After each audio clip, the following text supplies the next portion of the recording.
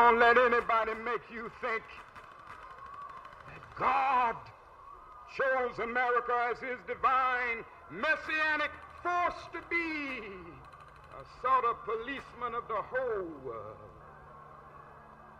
God has a way of standing before the nations with judgment, and it seems that I can hear God saying to America, You're too arrogant. If you don't change your ways, I will rise up and break the backbone of your power.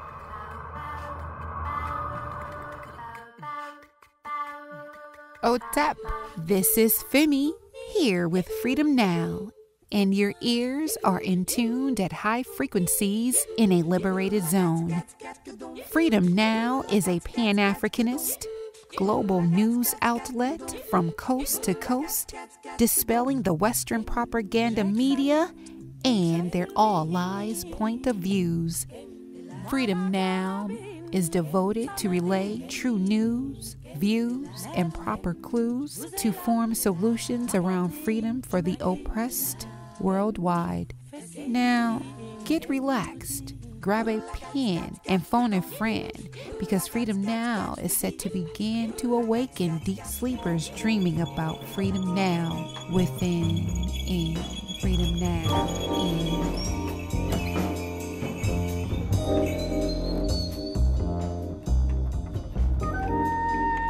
Habari Gani, this is Sister Thage with Freedom Now's agenda for the week of October 1st, 2022.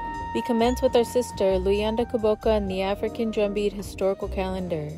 Then, prolific author, radical historian, professor of African American Studies at the University of Houston, and Freedom Now co producer, Dr. Gerald Horne interviews Peter J. Hammer, director of the Damon J. Keith Center for Civil Rights and professor of law at Wayne University here to discuss his co authorship of the book No Equal Justice The Legacy of Civil Rights Icon George W. Crockett Jr.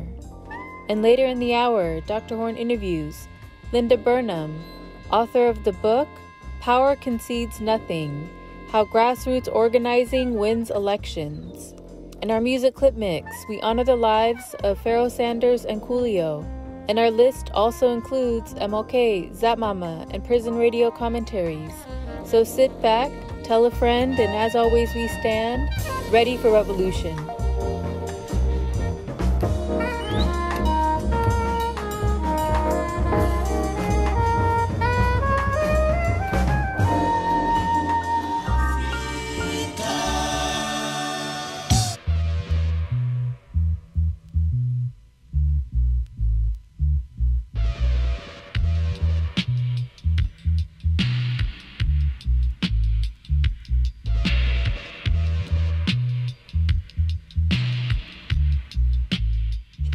Hotep. This is Sister Luyanda Koboka with this October 3rd weekly African drumbeat historical calendar of critical events and leaders which we acknowledge by giving publicity to their contributions so that we may gain inspiration to continue on the battle of human and spiritual values over greed and exploitation. October 3rd, 1952. The Mau Mau Revolution against British colonialism begins in Kenya. Mau Mau, or the Kikuyu forest fighters, fought against the British efforts to make Kenya a white settler colonial like South Africa. The Mau Mau, headed by Dedan Kimathi, strategically targeted African colonial collaborators as their primary target, realizing that without collaborators, England could not sustain domination against the masses of Africans. October 3, 1904. The people of Namibia, Southwest Africa, begin armed struggle against German colonial occupation after the Herero genocidal massacre and the first Holocaust of the 20th century. October 5, 1945. The Fifth Pan African Congress occurred in Manchester, England. This Congress gave a mass working class character to the Pan African movement, as well as having in attendance Jomo Kenyatta, George Padmore, Kwame Nkrumah, C.L.R. James, and Amy Garvey, the wife of Marcus Garvey. This Congress called for the organization of mass political parties. It was anti capitalistic in nature and was the final confrontation with colonialism. October 6, 1917. Fannie Lou Hamer, the powerful civil rights activist from the sharecropper background, was born. She exposed the hypocrisy of the Democratic Party at the 1964 Democratic Convention in Atlantic City when the Democrats refused to acknowledge and seat the majority of citizens of Mississippi who were Africans. October 7, 1897. Elijah Muhammad, the leader of the Nation of Islam, was born. The Nation of Islam, the largest Islamic activist organization in the United States, under the teachings of Elijah Muhammad, many convicts and gang members were transformed into contributing members of the African community. October 8, 1804, Haiti becomes an independent nation after decades of brutal colonialism under the French. October 8, 1967, the US CIA and its local puppets murder Che Guevara in Bolivia. Che, the co architect of the Cuban Revolution and an internationalist who fought in the Congo and throughout South America against Western colonial and neo colonial domination of humanity.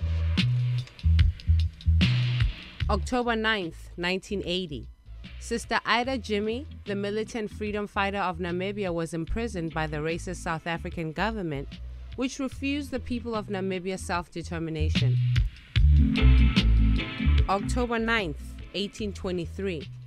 Mary Ann Shadd Cary, an African organizing in the US and Canada, was a champion to fugitive slaves. She was the leader of the black immigration movement. She was also the first black woman to establish a newspaper in North America. This is Freedom Now, 90.7 FM in Southern California and 98.7 FM in Central California. Please check out our website at kpfk.org. Under Programs, then click on Freedom Now. As in our tradition to build unity, we request that you join us by chanting Amandla Awetu three times. This Azanian rally cry means the power is ours, so join us wherever you are. Amandla Awetu, Amandla Awetu, Amandla Awetu.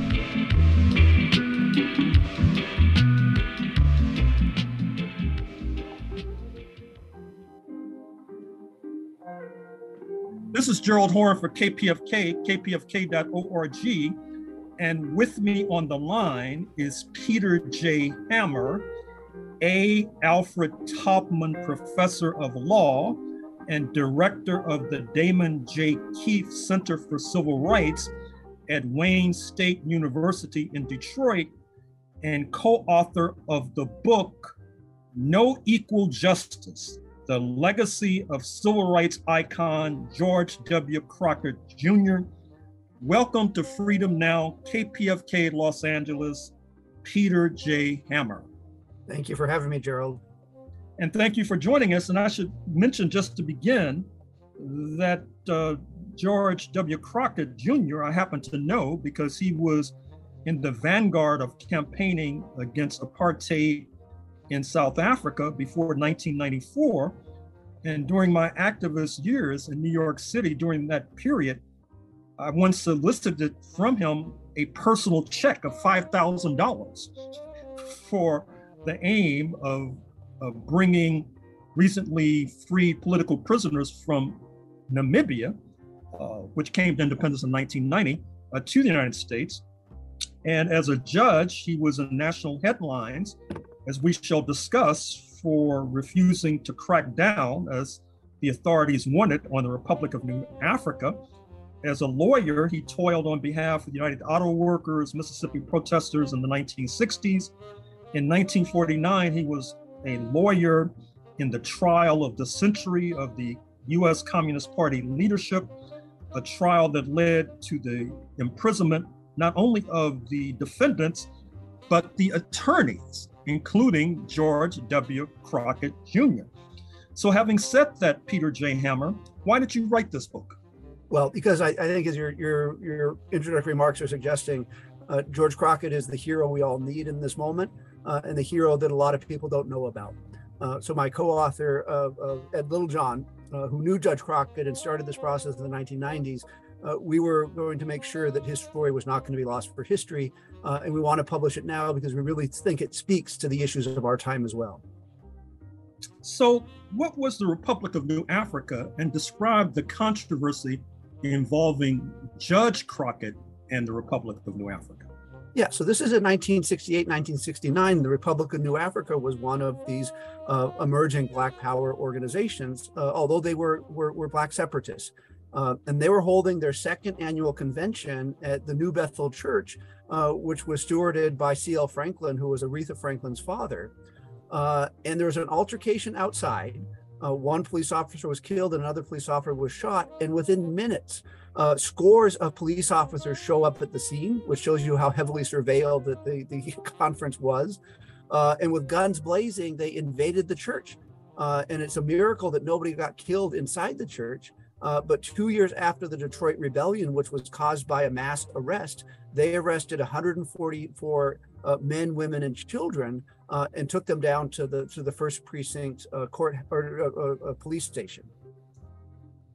And what did Judge Crockett do at that point? Yeah, so C.L. Franklin, who was a, a, civil rights leader in Detroit, uh, uh, Jamie Del Rio, a state representative, uh, go knocking on Judge Crockett's door a little after 5 a.m. on a Sunday morning. Right, uh, and within one hour, uh, Crockett is at the police station uh, with a writ of habeas corpus in hand, demanding that the police commissioner contact the prosecutor and give him space inside the police station to start holding hearings right? Uh, and for every individual that the police did not have evidence to show probable cause of arrest, he was setting free, right? So, uh, really an amazing example uh, of the law actually working uh, for Black Americans uh, and, and the important role that a Black judge can make in enforcing constitutional rights. But then I would say the next day, all hell breaks loose. Uh, the governor's calling for his uh, impeachment. The mayor's calling for his impeachment. The state senate is passing a resolution for his impeachment. Impeachment, uh, and the story becomes Crockett, black judge, protects individual rights uh, as opposed to a Republican New Africa uh, kill a police officer. Mm-hmm.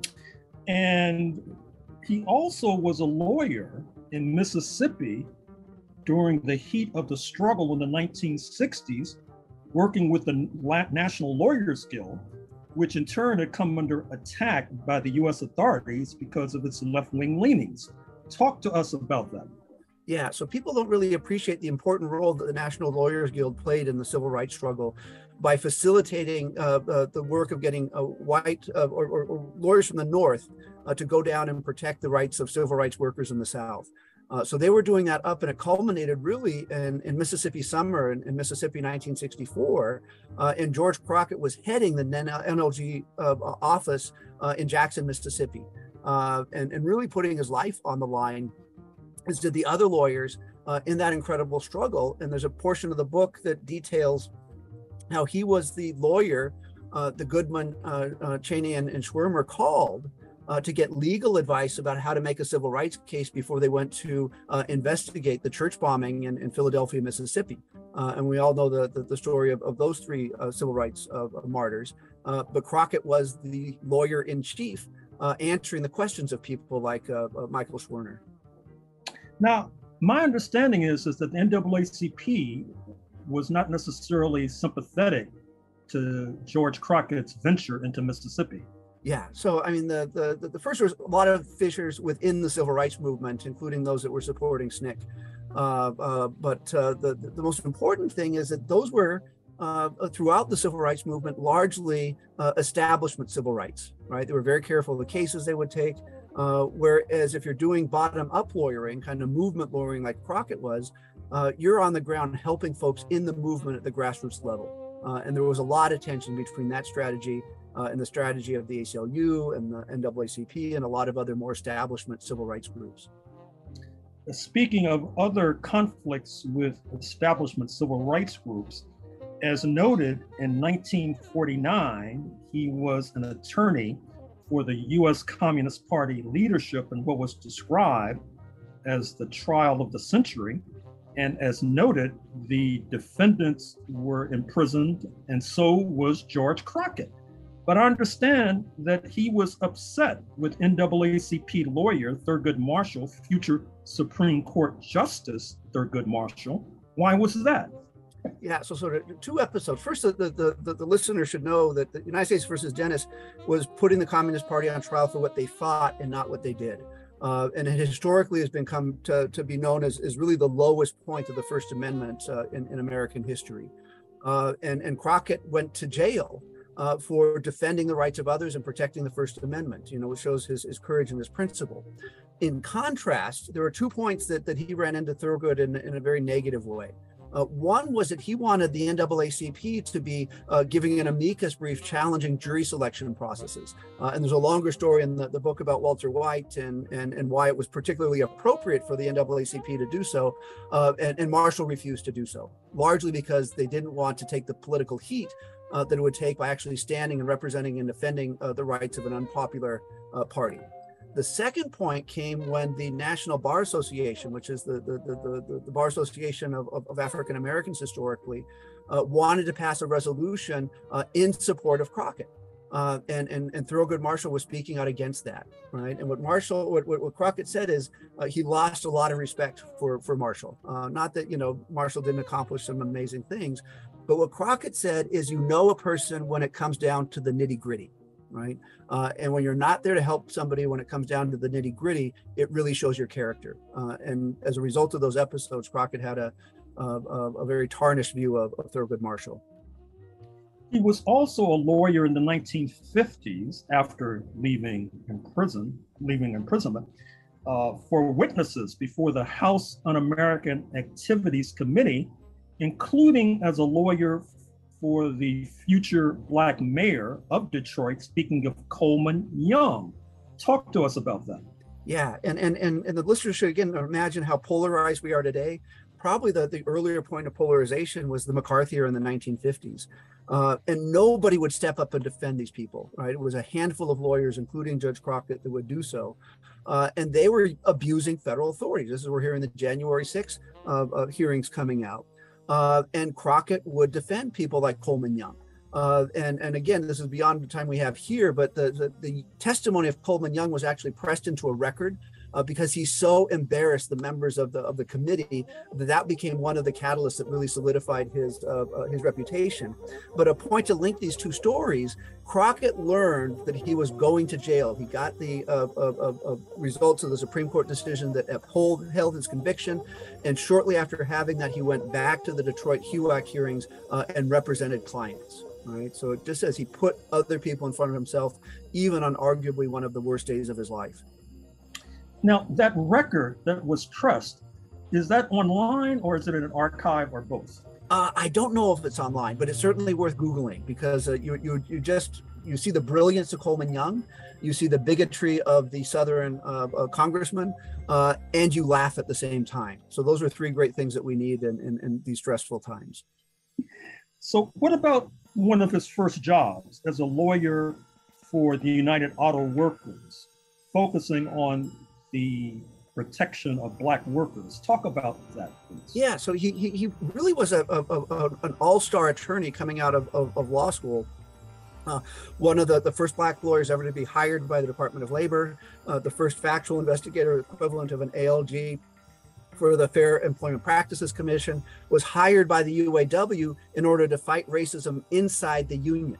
Uh, and this was at a time of great contest inside the UAW that really uh, uh, determined the fate of the union uh, to this day, where Walter Reuther uh, rose to power. And when Walter Reuther rose to power, uh, he purged the union of people like Crockett and, and Maurice Sugar and, and Ernie Goodman and, and, others who were viewed by, by Reuther as, as too liberal.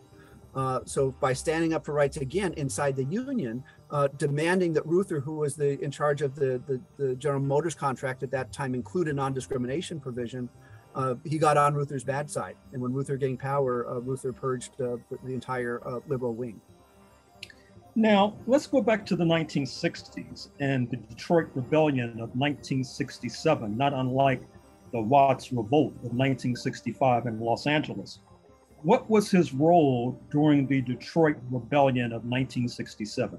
Yeah, you got to imagine this that, that, that, that, in some respects, he was a very young judge. Uh, he was elected in 1966. He took office uh, in, in, January of 1967, just uh, barely six, seven months before the rebellion. Uh, the other thing you know is he was actually uh, getting ready for this job his whole life. Um, so uh, you have the rebellion, you have these mass arrests, you have this movement where the prosecutors are demanding that judges establish $10,000 bonds for everybody arrested right? And I said that right. The prosecutor was demanding that the judges, which is just ass backwards, uh, set these high rates. And Crockett refused to do so. You said Crockett said, I'm going to establish an individual, not a collectivized manner to determine risk of, of, of, of the, the individual defendants. He established a very clever way of, of recruiting networks of, of neighborhood legal services lawyers that he had been affiliated with before uh, in order to actually find out who these people were as individuals, what risk they had. And he gave bonds that reflected the actual level of risk right? Uh, and, and his position was vindicated and praised by the University of Michigan Law Review uh, in a study of the rebellion a few years later. You mentioned, of course, that he matriculated at the law school at the University of Michigan. I should also mention that he was a Morehouse man. Yeah, and, and we all know what he would say is more important. Uh, he was a Morehouse man all his life. Uh, and uh, the, the book details some of the, not some, many of the, the, the, the sort of discriminatory and racial uh, problems that he faced when he got to Ann Arbor. Now, remind us again, how many individual defendants were there during the Detroit Rebellion of 1967? That, uh, I there were there were legions. There were hundreds, if not thousands, of people who were being arrested. Uh, mm-hmm. There were so many people arrested; they were being held in buses, right, without sanitation. Uh, they were put in in zoo cages on Belle Isle. Uh, so I mean, just imagine these zoo cages. Zoo cages, yeah. These sort of parts of these stories, little details that uh, uh, don't receive the, the, the the notoriety that they should uh, historically. Hmm. Now, when was he elected to Congress? And describe his role in Congress. I already made reference to his role combating apartheid. And of course, he fought to keep US troops out of El Salvador. He fought against the invasions of Grenada and Panama. He fought against aid to the counter revolutionaries in Nicaragua. So, when was he elected? And give us a snapshot of his, his congressional career. Yeah, so he he didn't run for reelection for recorder's court judge in in in, in 78. Uh, uh, because of the, the problems that, that, Charles Dick, Congressman Diggs, was experiencing and having to leave, uh, a seat opened up. Uh, and, and Crockett was bored being retired. Uh, so he threw his hat in the ring. And you can imagine, uh, given the, the, the, the, little glimpses into his record you've heard, Crockett was probably the most in, popular uh, figure in Detroit at that time next to Coleman Young. Uh, so when he decided to, to, to run, uh, it was a guaranteed win. Uh, and it was a win every time he ran for reelection and was in Congress for 10 years. But if you want the snapshot, uh, a good part of his uh, work was trying to defend the New Deal against Ronald Reagan's attack. So on the domestic side, he was trying to, to preserve the welfare state and the New Deal programs that, that, that Reagan was dismantling. Uh, and, and, internationally, uh, he was the chair of the uh, subcommittee on the Western Hemisphere.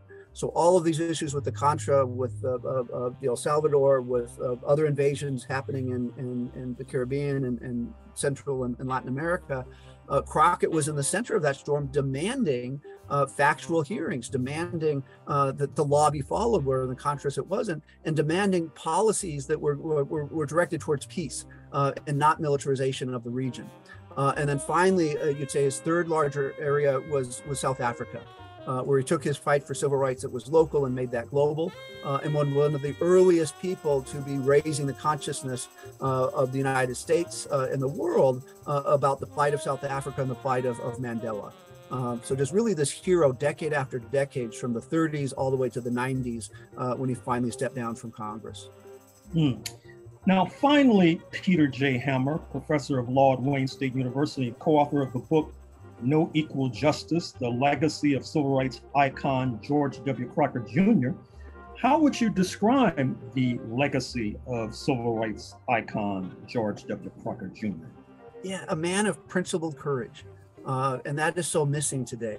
Uh, the other thing I would say, and I, I, I really believe if, if, if, people read the book, uh, and we consciously structured it in a way that you get long quotations from Crockett. You hear his voice. You get to know Crockett when you're reading the book. Uh, that he's speaking to the issues of our time. Uh, Eddie Glaude in his book uh, Black Democracy or Democracy in Black has this really uh, a stunning critique of, of Black liberalism, right? And the narrowing of the political mindset and the, the policies that we can even imagine today. Uh, Crockett's coming out of a, an era that's very different from that kind of, of, of liberalism. Uh, so the things you hear Crockett say speak to people today. I think speak to young people today uh, in ways that we don't hear anybody speaking uh, today, the last three or four decades. Uh, and it's incredibly refreshing to be reminded that we had giants and heroes and that their inspiration is just as relevant to us today as it was for the decades in which they were fighting for justice. Well, I'm afraid we're going to have to leave it there. Peter J. Hammer, A. Alfred Taubman, professor of law and director of the Damon J. Keith Center for Civil Rights at Wayne State University in Detroit, and co author of the book No Equal Justice The Legacy of Civil Rights Icon George W. Crockett Jr. Thank you for joining us on Freedom Now, KPFK, Los Angeles. This is Sister Flora, and you are listening to Freedom Now at KPFK 90.7 FM in occupied Mexico, including Los Angeles, 98.7 FM Santa Barbara, 93.7 FM in San Diego, and streaming live on the web at kpfk.org. Today's program, as well as 10 prior editions, can be reheard at kpfk.org slash audio archive, and scroll down to Freedom Now. From 12 to 1 p.m., following Freedom Now is our sister Assumpta with Spotlight Africa addressing issues facing Mother Africa. For a truly alternative international perspective on world affairs, check out RTTV Russia, CCTV China, and online at Prensa, Latina Cuba Telesur Venezuela. News 24, South Africa, and Press TV Iran.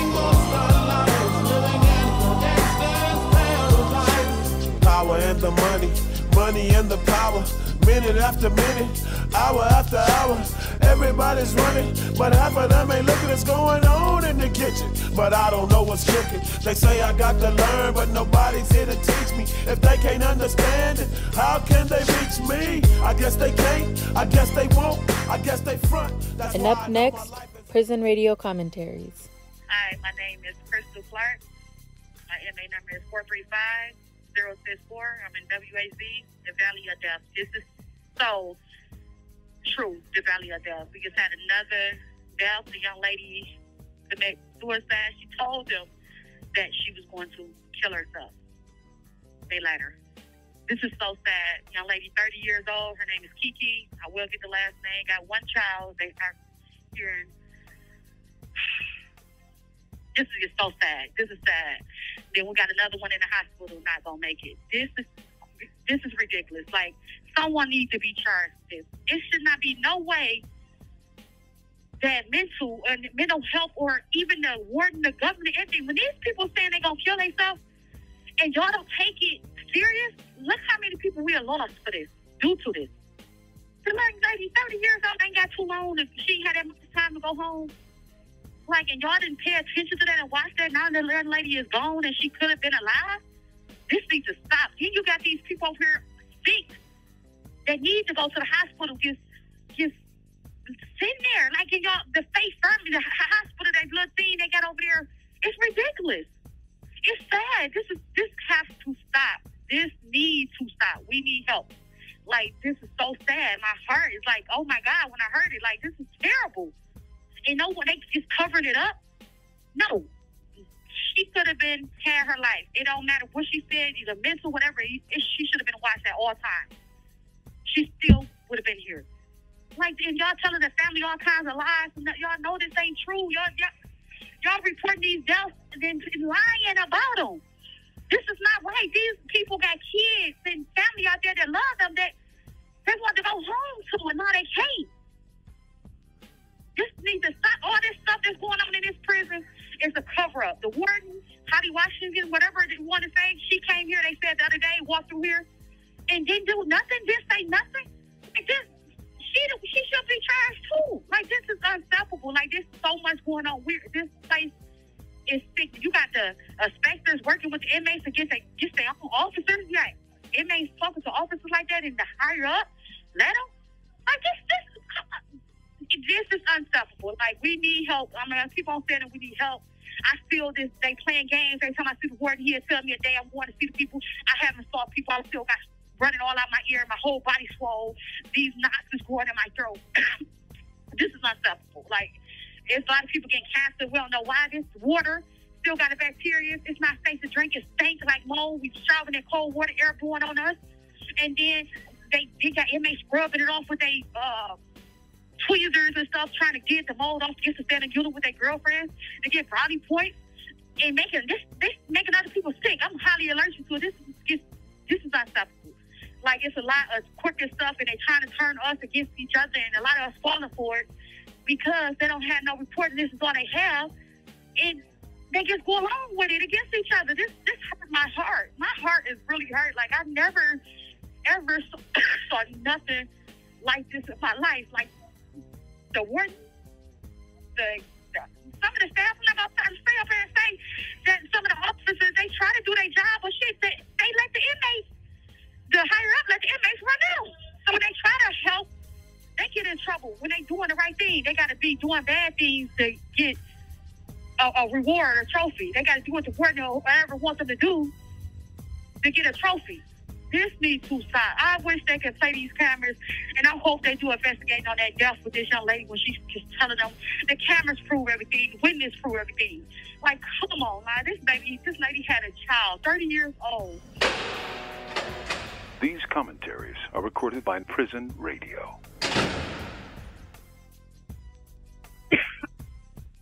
Hi, my name is Crystal Clark.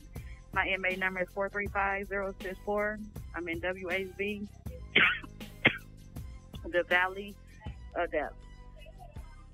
When I say this is the Valley of Death, it is. This is sad. Like my life, like uh, I've been trying to deal with it for years, and for the last couple weeks, I have been getting sad. I walk around here with a smile on my face, but it's miserable. I'm just going through so much right now. I've been so sick. the Sergeant Price, thanks to him, he called healthcare yesterday, get me over there. The doctor who was over there, it was so sad. It's just so sad. My whole body is, like I say, I'm so big. I'm leaking fluid. I can barely breathe. My throat is full of nodules, whatever they said it is. They're getting bigger. uh, my chronic cough. This place is really killing me. Like we had another uh, lady who passed. They covered up. We just found out that, but I will be getting the young lady name. uh, I get over there. They got to see the stuff all the caked up. It's all in my ear. The ear infection, the fungus in my ear just running. She see my face. I'm numb. I can't feel nothing on my right side of my face. My eyes. I'm losing my eyesight. Like she looked at me like, "Oh, it's nothing wrong. You've been dealing with this for a long time. Oh, you can deal with it. Like, just deal with it. Just deal with it." I was looking at her. Like, she's like, "But today is my last day, so they have something planned for you." The warden, I have been talking to him. He just been telling me lies and lies about my health. Like he's saying that I'm gonna see somebody. I should have been went out. I, I can't even really do my test for my heart because they haven't sent me out. I have WPW. the heart condition. They supposed to been me out to take the, the test for it. So I can't get help on that. They haven't none of my appointments I haven't went out to, the hospital to the specialist. They covering this up. They covering everything up because they don't want people to know. But everybody is seeing it and then they get mad because I reported and then they hear me out here and they come somehow we heard I don't even know how could a, even a staff or officer or the warden or the nurses, anybody can get mad when they hear me, when they know it's the truth. Like, if it don't fit you, don't worry about it. If it's not you doing it, why are you so angry and y'all want to toot y'all nose up at me and do this when y'all know I'm, I'm messed up in here? Y'all know this place that took me down. Y'all, most of y'all admit. Like, you don't even look the same. I'm, dying in here. Like literally, like it's killing me. Like my body, when I lay down, you can just feel the stuff growing in my ear, my body. You can feel these knots. Like when I walk now, it's I get this numbness, tingling. It's it's, it's terrible. My whole body, like it's terrible. But for a doctor to sit up there and report that she don't see nothing, And she like, oh, just give her some antibiotics. And I'm like, I've been on so many antibiotics. It's time to send me out. Why you y'all send everybody else out? Why is y'all won't send me out? Ever since they found out I was allergic to the mold and it's been affecting me, they've been downplaying my health. They have been downplaying it. Like I'm still here, I'm suffering. They have been downplaying a lot.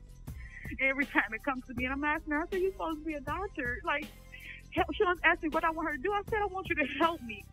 And if you can't, send me out. Like, send me out. I'm on so much medicine. Nothing is working. It just get worse. I want to make it out of here to see my kids. There's so many us dying here, and then it's just being covered up, and nobody even talk about it. It go on, you die one day, and then it's over with. Like, this is not right. Like I've been, I've talked to everybody that has been lying to me.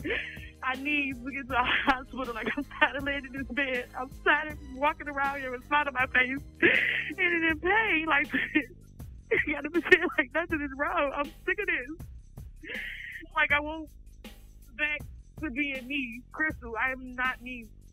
Haven't been me in a long time. Like I'm ready to be back me. At least let's make the start. Y'all send me out like, let's do one step at a time. They're not even trying to do that. The nurse McIntyre, whatever, I think that's her name. The way how she treat me, I thought she cared about us. The way how she do it, I'm looking at her like you've been knowing my situation. Won't you let the doctor know? Oh, I don't see nothing either. These commentaries are recorded by Prison Radio. We will now continue with historian Professor Dr. Gerald Horne. This is Gerald Horne for KPFK, kpfk.org. And with me on the line is Linda Burnham, co editor of the book Power Concedes Nothing How Grassroots Organizing Wins Elections. Welcome to Freedom Now, KPFK Los Angeles, Linda Burnham. Thank you so much, Gerald. Thank you, Professor. I really do appreciate the opportunity to speak with your listening audience and we appreciate the opportunity as well. So, why did you help to produce this volume? This volume came about because uh, in, in the work that I do, I'm in contact with a lot of people who are doing grassroots organizing, who've done amazing work over the past uh, many years, and they're sectors of the progressive to left side of the spectrum that have, I think, taken a turn in the last 15 to 20 years. Um, and that turn has been to really think about and implement strategies that link long term political organizing, whether it's constituency based organizing or issue based organizing, that link that work to the electoral arena, to electoral organizing, and who have a, an approach to electoral organizing that brings values and principles of ongoing grassroots organizing to that work. I felt, and my co editors, I, I co edited this book with Max Elbaum and Maria Poblet. We felt that it was really important that that work be lifted up and documented. And uh, knowing how busy organizers operate they uh, go from one campaign to the next. Oftentimes, they don't have much time for reflection. And we all uh, lose because of that. We don't know what it takes to uh, put together uh, an electoral campaign on the progressive side of the spectrum. And, um, you know, 20 years later, someone will, a historian will come and say, well, so, what did it look like? What did it take to defeat Trump in 2020? And uh, people will have moved on. So, I wanted. I wanted those stories told in the voices of the people who actually did the work. Uh, we felt like it was a way for people to document, to reflect, to share lessons so that people in Nevada knew what people had done in Arizona, and people in Arizona knew what people had done in Pennsylvania, onto Florida, Georgia, and etc. So it's a documentation process, it's an analysis process, it's let's be disciplined and actually say what we wanted to do what we did do, and what the results were. Mm-hmm. So, you were formerly National Research Director and Senior Advisor of the National Domestic Workers Alliance. What was the N, or what is the NDWA, and what did your job entail? The National Domestic Workers Alliance uh, is getting ready to celebrate its 15th anniversary. As a matter of fact, it's going to celebrate its 15th anniversary uh, come September.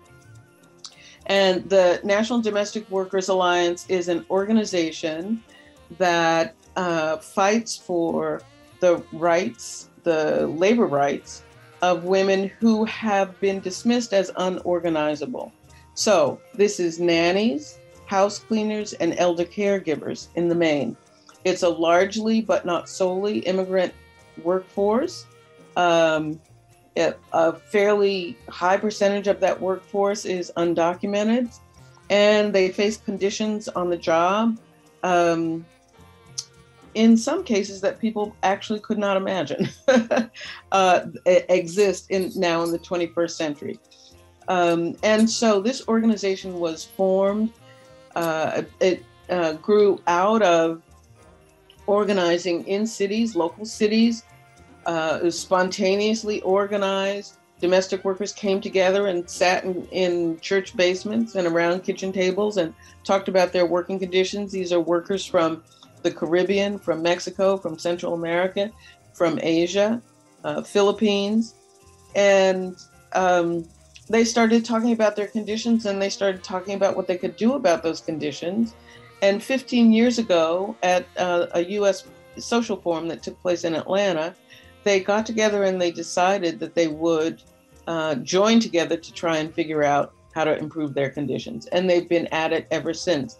My job there was uh, their first research director. I came on very early, um, early in the story, and we were, uh, you know, trying to pass legislation at in at city councils and in state legislatures uh, to guarantee domestic workers, for example, uh, minimum wage, uh, to deal with um, wa- uh, wage theft.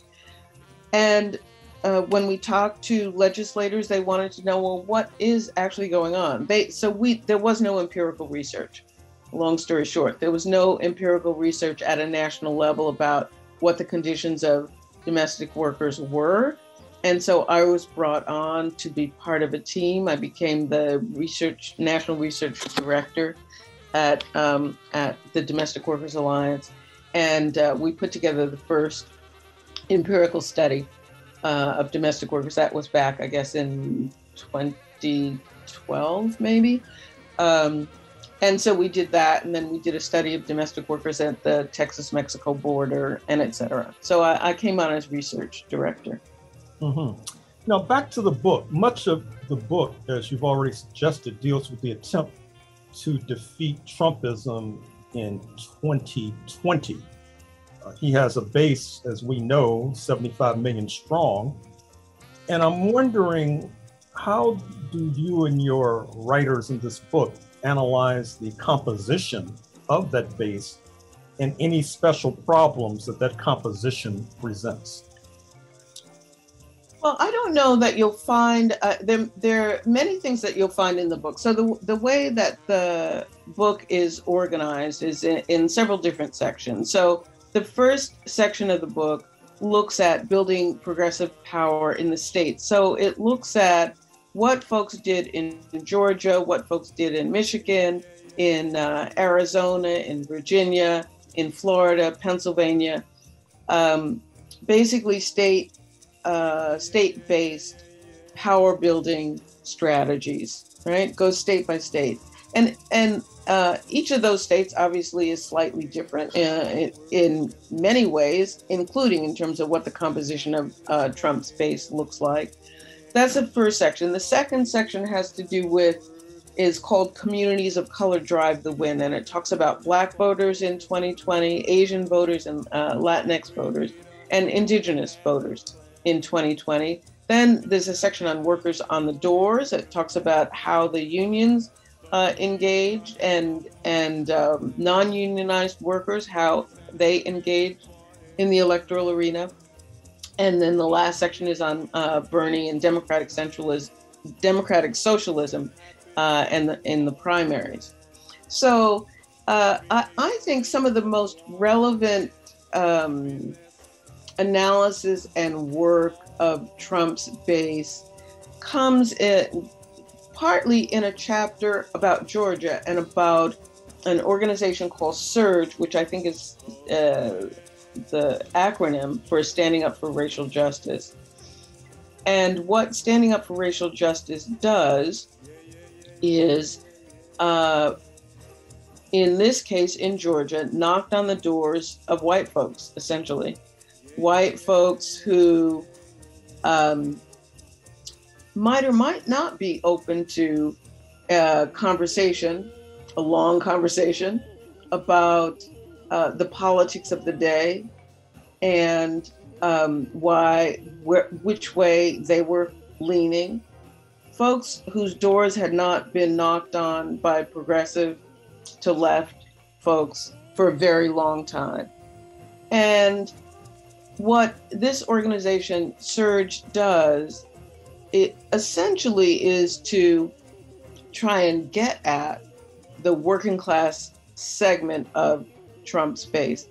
Trump's base is broad, obviously, is across essentially, from my point of view, is a cross class pro racist alliance, now cross class pro racist, pro fascist alliance. Um, and uh, and and that has become even more clear since the election and since the January 6th uprising. Uh, and and so uh, so the book addresses this in in relationship to the work of organizations like SURJ, um, in the uh, work of organizations um, in Virginia, Virginia New Majority, trying to figure out how uh, especially to be in conversation with folks who um, maybe might be soft Trump supporters. There were many people who did, um, you know, Obama and then Trump, uh, and trying to figure out how to kind of pick at that pick at that alliance and and start to break that apart in ways that uh, create more favorable terrain for progressive politics.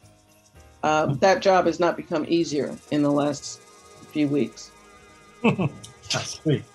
So you mentioned in passing the role of unions, and from reading the book, it seems that Service Employees International Union uh, played a major role in terms of the efforts you're describing. Are there any other unions besides SEIU that you would single out in that regard? Uh, there are probably many, but in terms of the book, the um, I think some of the key um, chapters to read are the chapter about Unite Here and the work that was done in uh, Nevada. Um, that's that takes the form of a conversation uh, between uh, Mario Yedidia and Stephanie Greenlee and Diana Va- uh, and um, so they talk about what you know what it took to do the work in Nevada, what it took to to knock on the doors. There's another piece uh, by Hany Khalil out in uh, Texas that talks about the Gulf Coast Area uh, Labor Federation and the and the work that they did.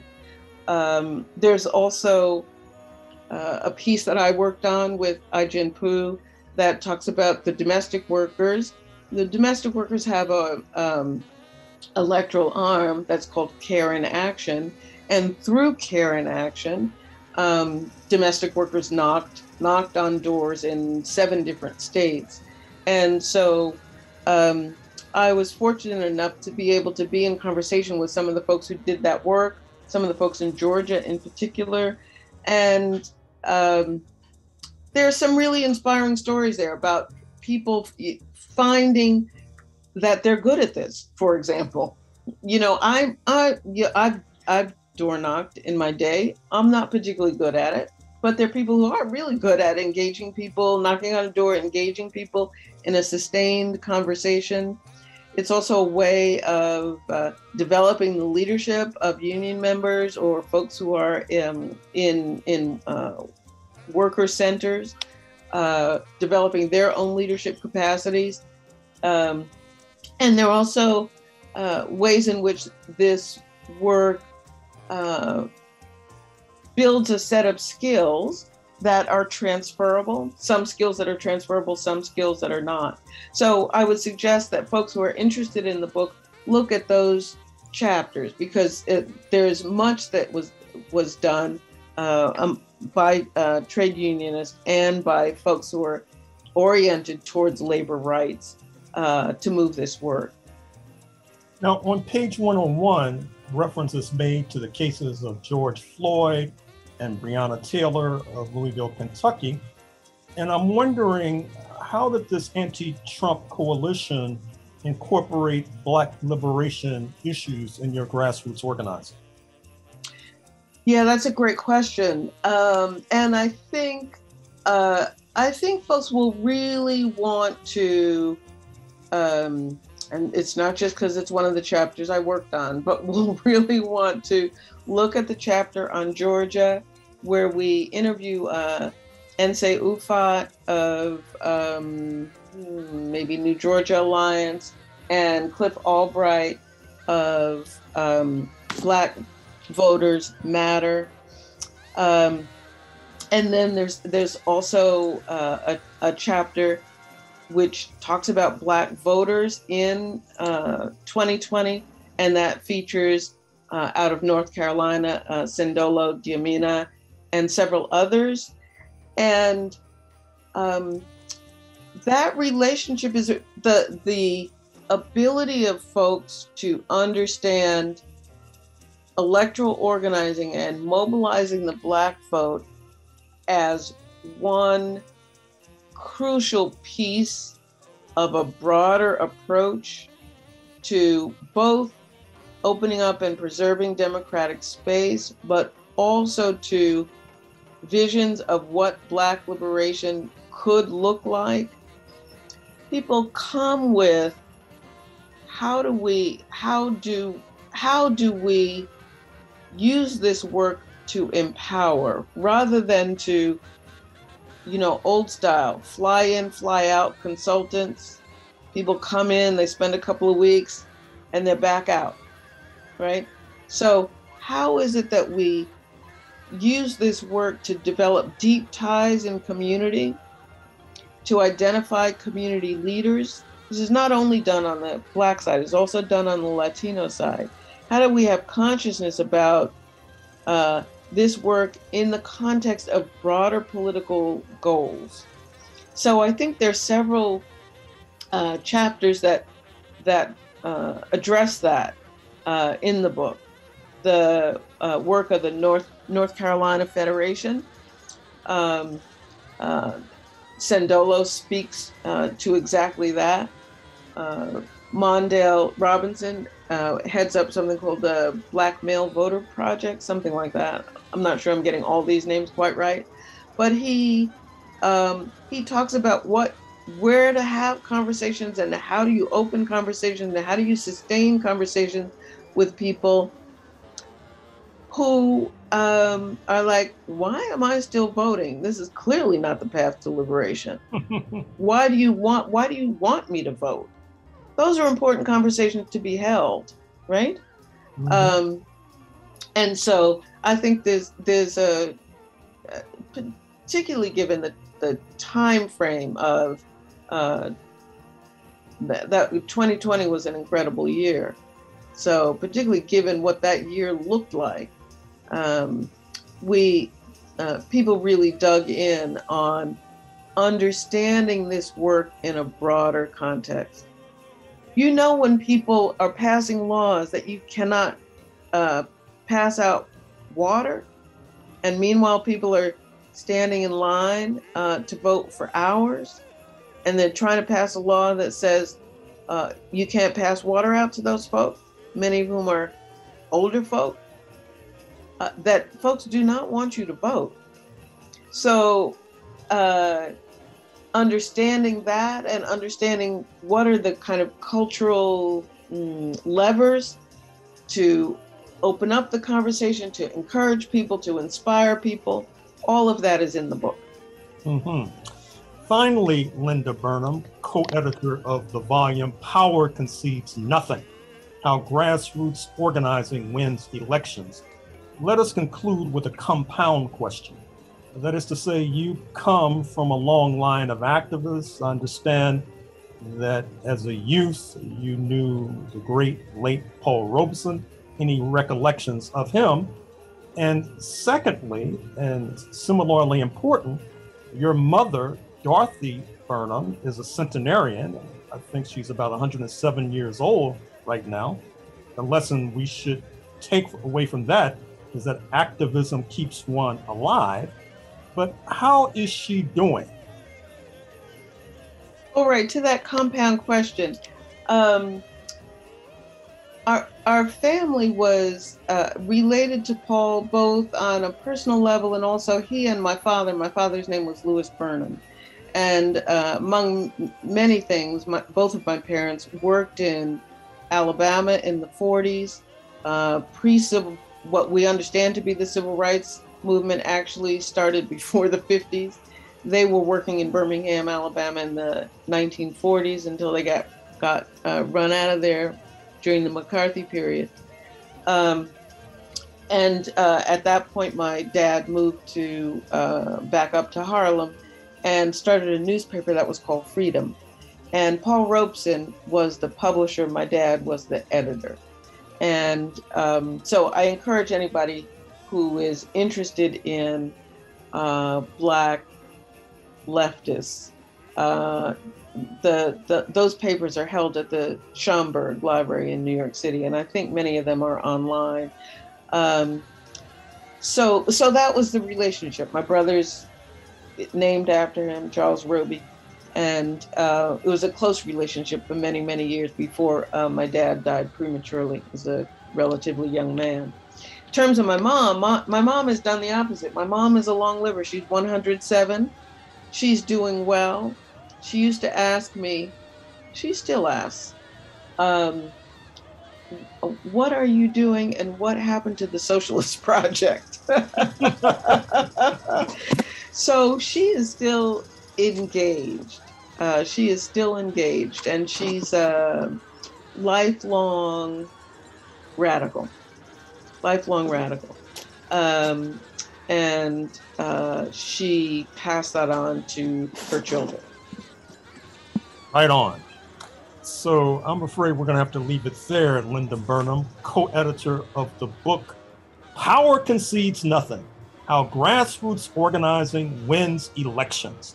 Thank you for joining us on Freedom Now, KPFK Los Angeles. Thank you so much, Gerald. I truly appreciate it.